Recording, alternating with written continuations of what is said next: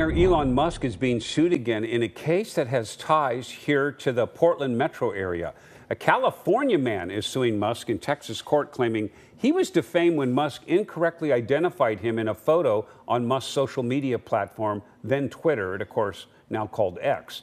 The images show a confrontation near a pride festival in Oregon City last June.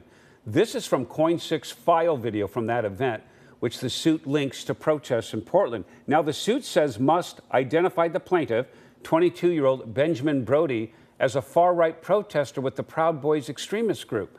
Musk suggested he was working with the FBI as part of a quote, false flag operation. Musk has been the subject of lawsuits before and has taken other people to court over what they've posted on the site. He has not responded to a request or for comment yet.